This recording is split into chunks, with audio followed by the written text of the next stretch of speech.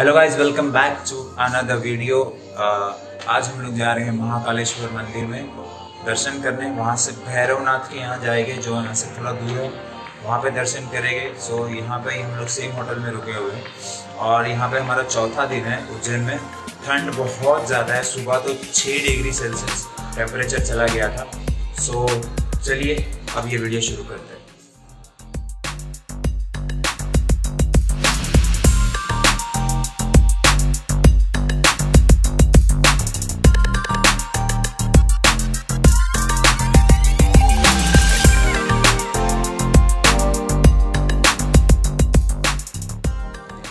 So guys अभी हम लोग महादेव के महाकालेश्वर मंदिर पहुँच चुके हैं। अभी वापस मैंने ढीला करवाया है यहाँ पे और ठंड बहुत ज़्यादा है, नाइन डिग्री सेल्सियस है। अभी बज रहे हैं सुबह के साढ़े आठ। अभी अंदर चले गए।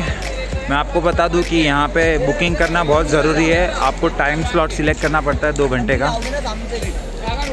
थैंक यू सो दो घंटे का टाइम स्लॉट बुक करना पड़ता है। एक दिन एडवांस में आपको आना है यहाँ पे तो। सो so, 1500 का लिमिट है यहाँ पे। मतलब दो घंटे के पीरियड में आठ से दस का बुकिंग था हमारा तो 1500 लोग ही सिर्फ़ आ सकते हैं। तो उसमें मैंने बुकिंग ऑलरेडी लास्ट वीक कर दिया था। सो so, अगर आपको वो यहाँ पे आके बुकिंग करना है तो आपको उनकी ऑफिशियल वेबसाइट पे जाना पड़ेगा महाकाल की। वहाँ से बुक कर सकते हो।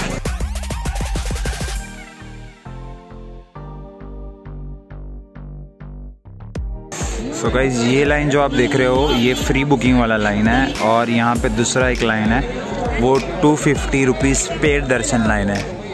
सो so आप दोनों बुकिंग कर सकते हो।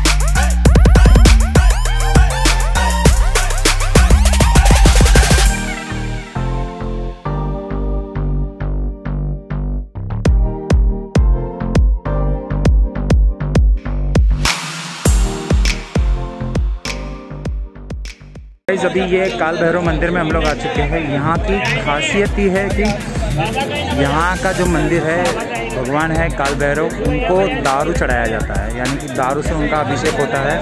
सो यहाँ पे बहुत सारे शॉप्स है पूरे शॉप्स में दारू मिलता है। आपको मैं दिखा देता हूँ। अपने अपना प्रसाद अपने अपने दारू कौन सा पिलाओगे आप दादा सब पीते हैं। मेन परंपरा से दादा को देसी का भोग लगता है और जो पीते हैं वो अंग्रेज़ी ले जाते हैं।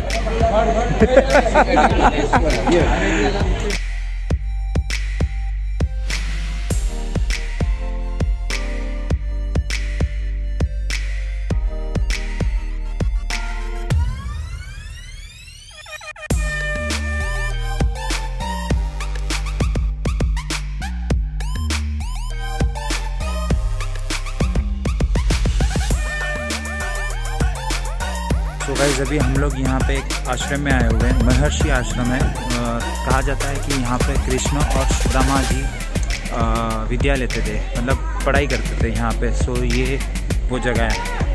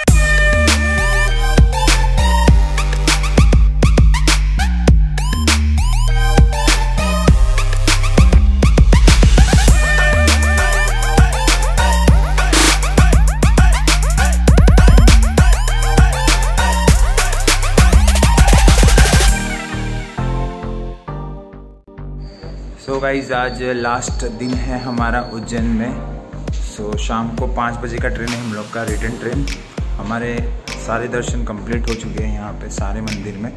और हम लोग अभी बारह बजे चेकआउट करेंगे। पाँच बजे का शायद आई थिंक ट्रेन है from Indore to sorry from Ujjain to Mumbai. So hope आपको ये सीरीज़ पसंद आई हो। मैं ट्रेन का वीडियो वापस नहीं बनाऊँगा क्योंकि मैं ऑलरेडी बना चुका हूँ। सो मैं सीधा यहीं पे उज्जैन में ये सीरीज़ को एंड करूँगा। सो अगर आपको ये सीरीज़ पसंद आई हो तो प्लीज़ इसे लाइक करना शेयर करना और सब्सक्राइब कर देना।